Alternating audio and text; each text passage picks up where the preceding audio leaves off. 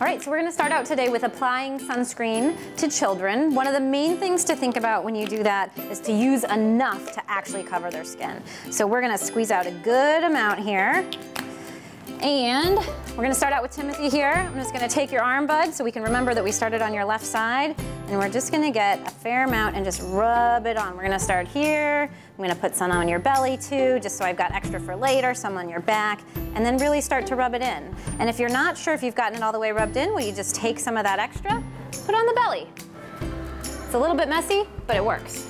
The nice thing with using some of the physical blocks of sunscreen is that they are active as soon as you put them on. Thanks, bud, good job. If you use some of the chemical blocks, they have to wait for 20 minutes or so before heading out. So it does take a little bit of labor to get it all rubbed in, but it's worth it to really protect their skin. Then we take some of this extra from the arm, put it right up here on your ears, because we don't want to forget those either. You can't use a spray on the face. You want to remember that because you don't want people breathing in those particles. And Miss Maya is wearing a tankini, so belly's actually already covered, which is great.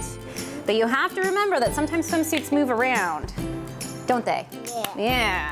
So we want to make sure that we actually do get a little bit on your belly here so that we don't end up with that stripe of sunburn that's that telltale sign that you missed a spot. Now these guys are gearing up to go swimming which means that they are gonna reapply their sunscreen after they've been wet for about 80 minutes.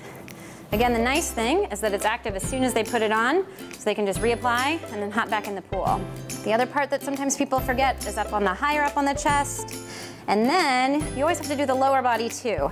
So you wanna make sure that people help out and do their legs and the tops of the feet, because we know plenty of people have had those burns from forgetting the tops of their feet when they're wearing sandals.